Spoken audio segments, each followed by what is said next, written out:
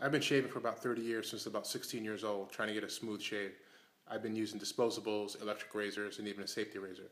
Um, the safety razor I used was probably the closest shave I got, but I've been using the bevel um, safety razor for the last four weeks and got an even closer shave. Instead of me doing a four-way shave, which is uh, down, up, left, and right, I can do just a two-direction, which is down with the grain and then across toward the mouth. Um, and I get a smoother shave, um, less irritation.